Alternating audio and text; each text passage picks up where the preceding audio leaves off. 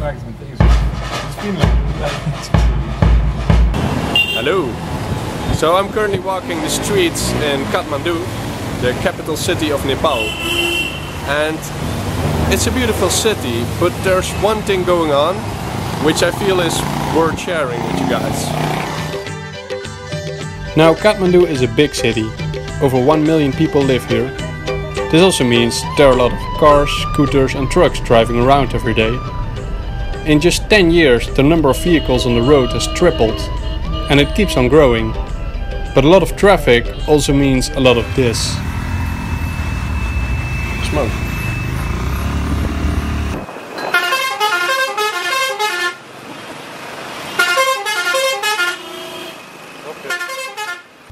And all this traffic is polluting the air, even by the ones that are here to keep you safe.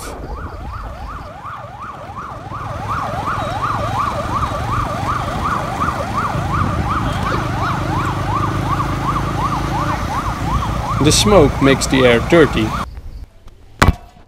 This is what your face looks when you drive around here.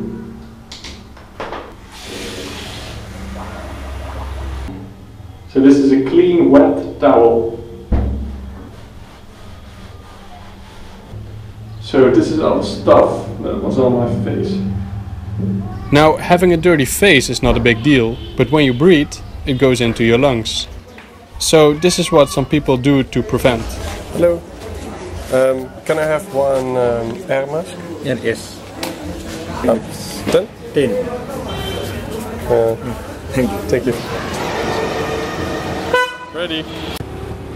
People use these things in the traffic or when they walk the streets. They are the most normal things to see around here.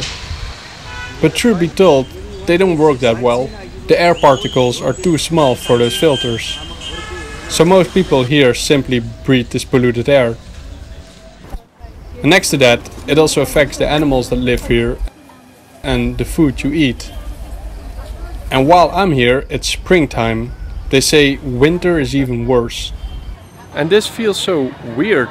Fresh air seems like one of the most basic things in life. Honestly, I assumed everyone would just have it. I mean, eating healthy or doing sport is an option you can choose for.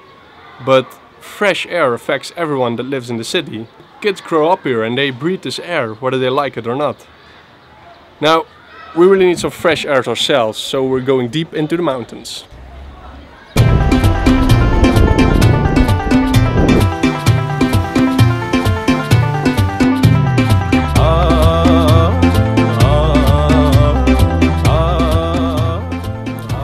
And this is when you realize how amazing the country actually is. Okay, that is besides these tiny, weird, moving, blood-taking worms. They just suck. Overall, life's a little bit simpler here. It's like you traveled in a time machine 50 years back. People here haven't got electricity, no internet, no cars. But hey, they got fresh air.